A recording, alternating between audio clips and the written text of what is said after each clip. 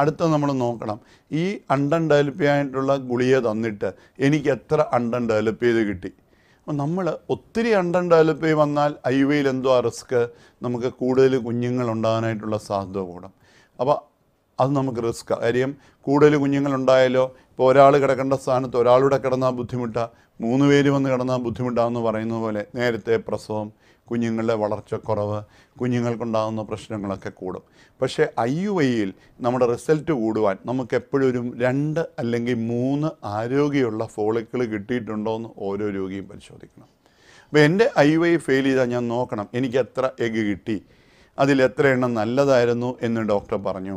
അണ്ടത്തിന്റെ നിലവാരത്തെ പറ്റി അറിയാനും ഞാൻ ഈ പറഞ്ഞതുപോലെ ആ ഭാഗത്തേക്കുള്ള രക്തോട്ടം കൂടുന്നത് ഹെൽപ്പ് ചെയ്യും.